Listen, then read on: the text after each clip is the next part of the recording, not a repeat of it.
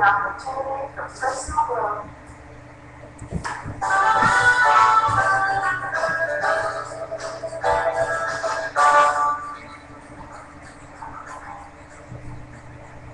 Welcome to I hope an opportunity for personal growth to all who join me today. My name is Jenny Castle, and in my life I've assumed several different titles and numerous roles. But today, I simply wish to share with you some exciting ideas in order to help us all to grow. For when we open ourselves to growth at a personal level, we enhance our ability to more fully experience our lives.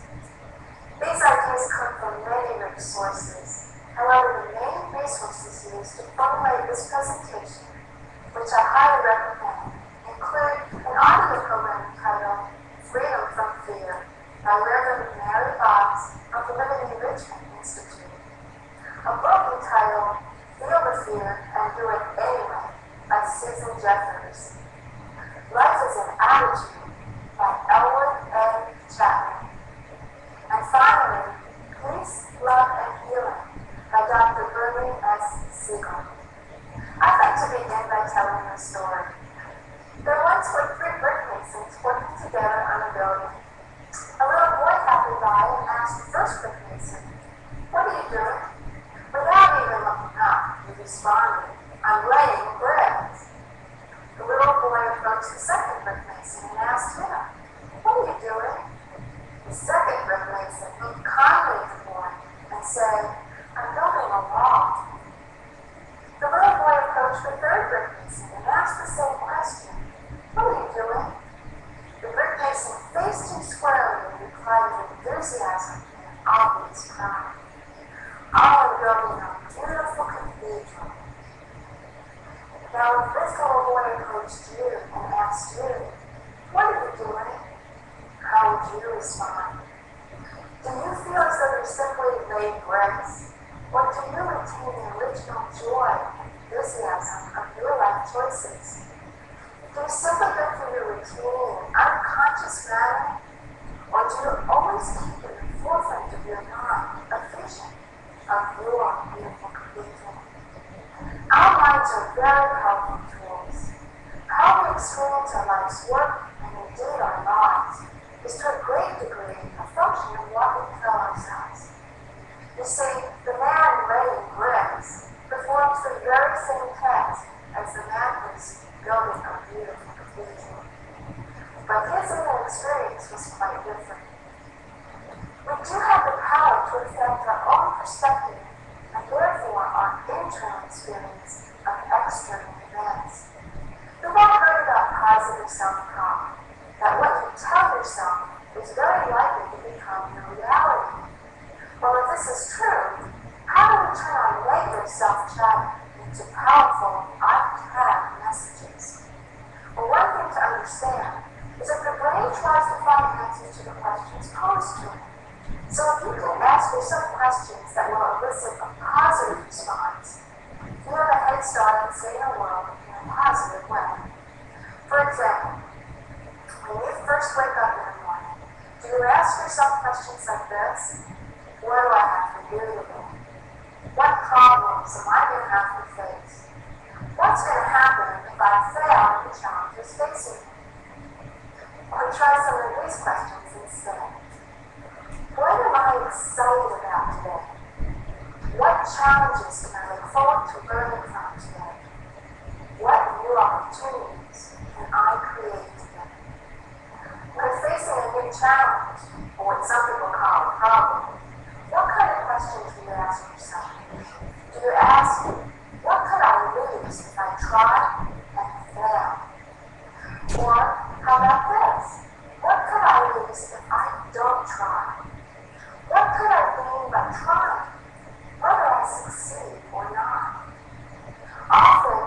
stuck in negativity or negative emotions such as anger, depression, anxiety, and fear.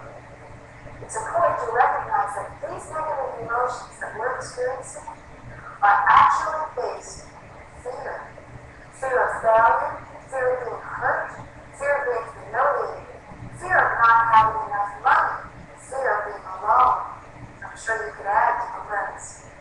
For example, if you get angry because someone cut you off when you're driving, the first thing that actually occurred is that you experienced the fear of having a collision. The anger is actually based in fear, as most negative emotions are. Fear is the biggest inhibitor of us acting upon our dreams and living our lives fully. We hold back from participating in life fully because we are afraid. We're afraid to speak our truth. We're afraid to show the world as we are. And we're holding back in some way because of our fears. Now, sad to say, it's not possible to do away with fear completely. Every person on this planet experiences fear. We all have fear in our lives. Think about it. Where is fear controlling you right now? We all have fear in our lives. Even the people who are very successful and self-confident, who are out there making their dreams a reality, experience fear.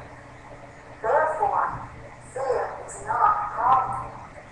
What we do with the fear is what determines how we live our lives. Although we can't eliminate fear, we can view it differently and deal with it in healthy and productive ways. You see, we each have places, events, situations with which we're comfortable.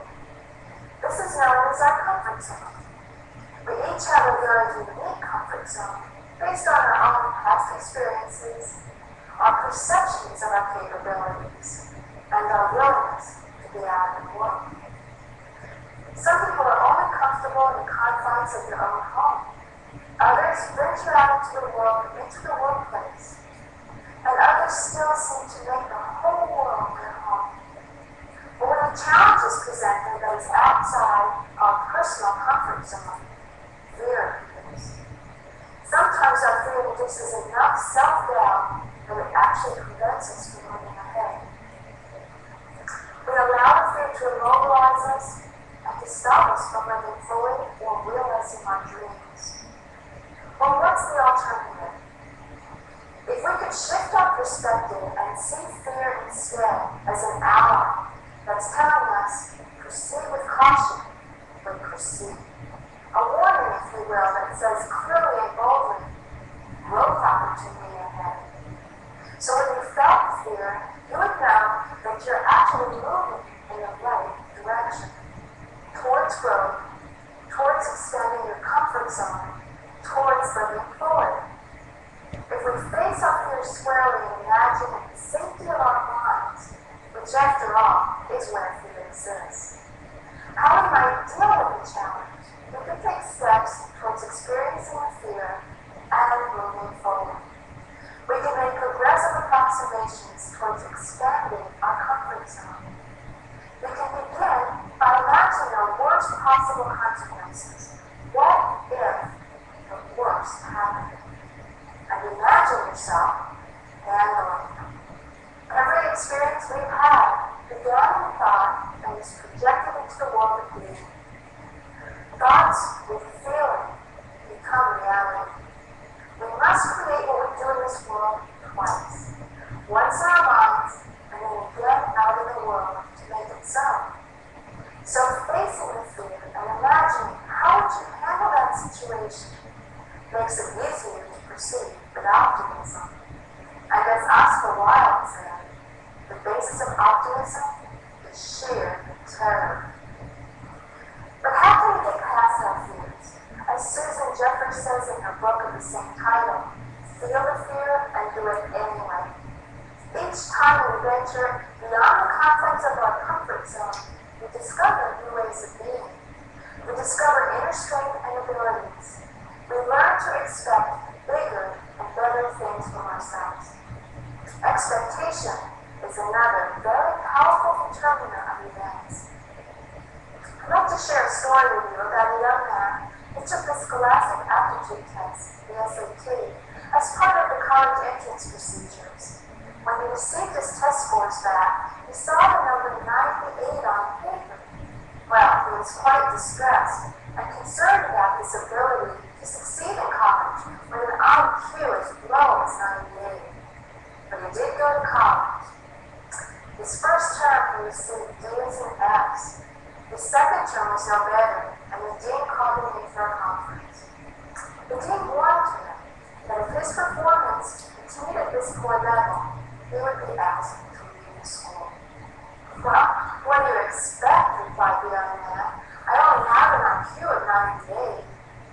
The dean took out the file and explained to the young man, You don't have an IQ of 98. You scored in the 98th percentile. That means that your score was equal to or better than 98% of the students in all North Well, the next term, that student pulled a 4.0 grade point average. The only thing we could change were his expectations. Another example of how powerful expectations are in determining events I'll show a research project conducted in San Francisco. Three teachers have been brought into the principal's office and told, you three teachers are the best teachers in this whole school. To reward your performance by giving them each 30 of the best students. These teachers were asked, don't tell any of the students or the parents about this. At the end of the year, it was found that these students tested significantly higher than all of the students not only in the school, but in the entire district. The teachers were brought in again. They were informed that this had been an experiment and that the students had actually been selected at random. Well, the teachers were amazed, and they could explain the high scores only by the fact that they were, after all, the best teachers. Well, then the researchers informed them, actually, we put all the teachers' names in a hat, and yours were the three that were. This was a double-blind study, with the only factor not being controlled for being expectations.